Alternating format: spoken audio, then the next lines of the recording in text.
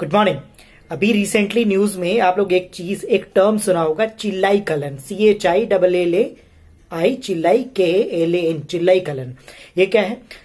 Chillai Kalan is a Farsi word इसका मतलब होता है चालीस बहुत ठंडा दिन. इंटेंस कोल्ड फोर्टी डेज़ है ना? चालीस बहुत ठंडा दिन. ये टर्म आप लोग न्यूज़ में सुनोगा, ये फारसी का एक टर्म है. अभी रिसेंटली अभी देखेंगे 21 दिसंबर से कश्मीर के अंदर बहुत ठंडा पड़ना स्टार्ट हो गया ट्वेंटी फ़र्स्ट दिसंबर से।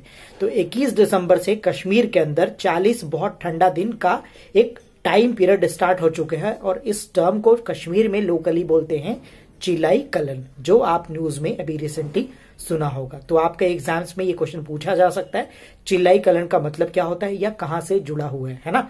तो इस टर्म को याद रखेंगे। This is current affairs of 22 December thank you